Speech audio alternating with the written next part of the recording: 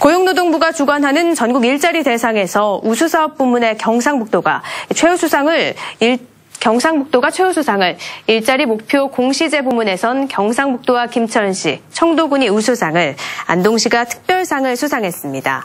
안동시는 지난해 안동형 일자리를 중심으로 국도비를 합쳐 2,200억 원으로 역대 일자리 분야 최대 예산을 확보하고 목표치를 넘는 일자리 8천여 개를 창출했습니다. 안동시는 고용노동부의 사회적 기업 육성 우수 자치단체 선정에서도 우수상을 차지했습니다.